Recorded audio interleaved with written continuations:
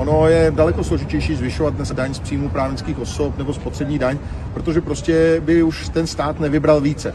Ty peníze by v současné době už prostě nemohly být za žádnou cenu navýšeny, jelikož ti lidé by například tankovali v zahraničí, v Polsku, v Německu, kamionová doprava by přejížděla Českou republiku a netankovala tady. Takže v podstatě je to nejjednodušší daň na vybrání, ale zároveň je to nejzbabilejší daň vůči našim lidem, kteří jsou v podstatě potrestáni za to, že si spořili ehm, tím, že si pořídili nějakou nemovitost. A mnoho lidí spoří právě tím, že investují peníze do nemovitosti.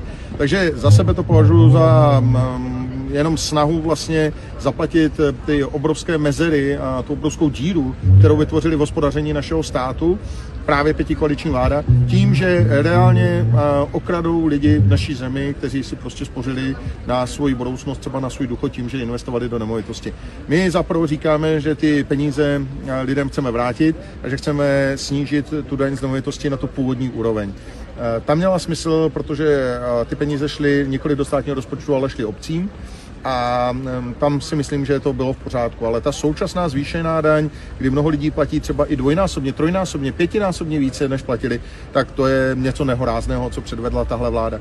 No a poslední věc, kterou bych chtěl dodat, aby lidé pochopili, jak nehorázný právě je to krok, je to, že eh, vláda změnila osobu poplatníka. Dříve to byl majitel té nemovitosti a dneska je to uživatel té nemovitosti. To znamená, že ono to vypadá, že to je to samé, ale není. Stát je totiž osvobozen od platby daně z nemovitosti. Pokud platí daň z nemovitosti stát, nemusí platit, protože to je z kapsy do kapsy, to by nedávalo smysl.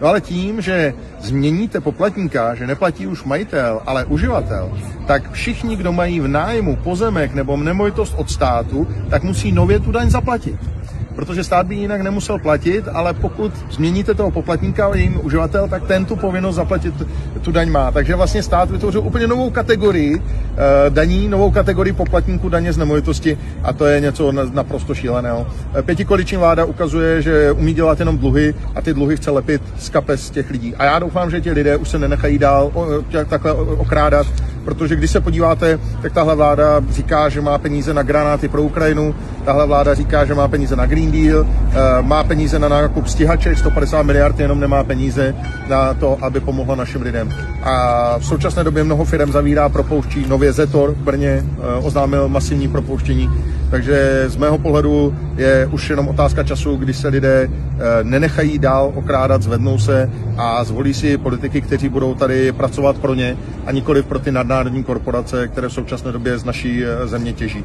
Já prostě odmítám to, aby se peníze našich lidí rozhazovaly všemožným způsobem a potom bylo nutné je okrást o další peníze jenom proto, že byli natolik zodpovědní a pořídili si vlastní nemovitost.